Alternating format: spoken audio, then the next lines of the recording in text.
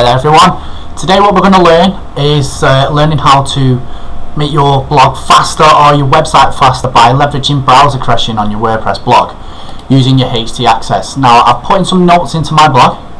I want you to read them specifically.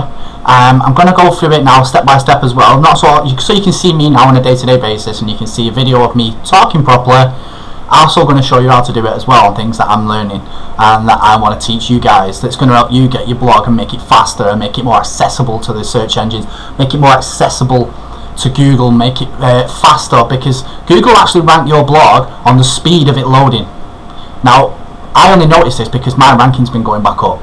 Because I've not been concentrating on it I've been doing other things with my team and my blog is really slow well it was. It's not now. I've put in the right tools in the right places and I've, and I've got the right um, plugins and I'm now I've actually done the this caching myself.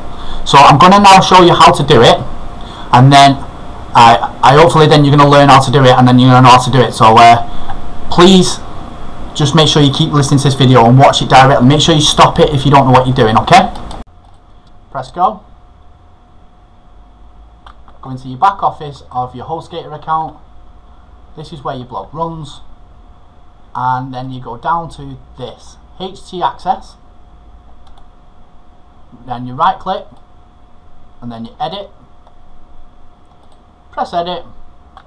And as you can see I've already got mine in here. All mine's in here already. Already pasted in. Copy paste save changes. That's all you need to do copy paste save changes. That simple. That will then make your website load faster. It'll also make the, the pictures that you upload onto your blog smaller. It'll crush them which means it'll take less time for your blog to load up and then you'll have more time to concentrate on getting better better posts like I'm doing now. As you can see I put pictures in so you can see the exact same things. Even the code's been put in for you and a picture of my back office so that you can see that as well so you can see that I've actually done it. I'm actually doing this and I'm actually telling you how to do it the proper way. So thank you again for tuning into the MikeSherratt.com and my videos. I'll speak to you.